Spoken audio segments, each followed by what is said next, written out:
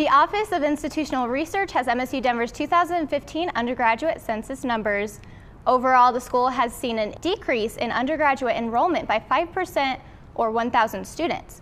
The total number of females decreased by 5% and about the same for male enrollment, which decreased by just under 5%. The average credit hours per student has increased by less than a tenth of a percentage point. The school is doing better with minority and first generation students, which account for 60% of the student body. The top majors include biology, psychology, and management.